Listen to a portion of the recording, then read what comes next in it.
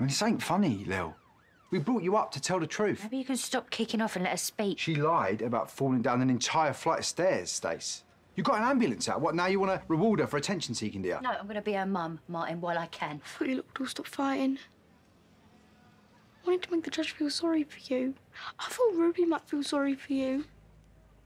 I'm sorry. I, I can go say sorry to the ambulance men. I'm asking you to do that, Lil. I don't want you to go, Mum.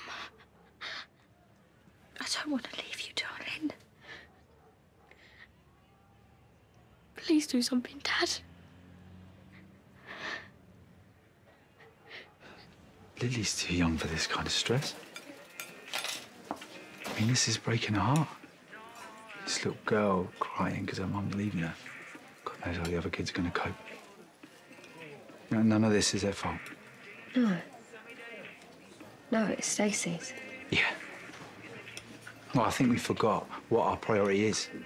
My priority. I mean, you're too wrapped up in fighting each other, and it takes a 10 year old to point it out. This should be about what is best for the kids. Yeah. Yes, of course it should. Look, nothing's going to bring our baby back. And that includes pointing the finger, which is why I tried to withdraw my complaint. What? I didn't want you to think I was letting our baby down, but Jean was so desperate.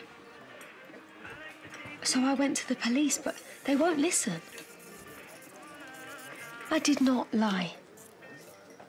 I did not exaggerate what Stacey did to me, but I still wouldn't wish this on her. Even after everything. You never let me down. The best wife I've ever had. Mm. Yeah, I know that. If you're really worried about Lily,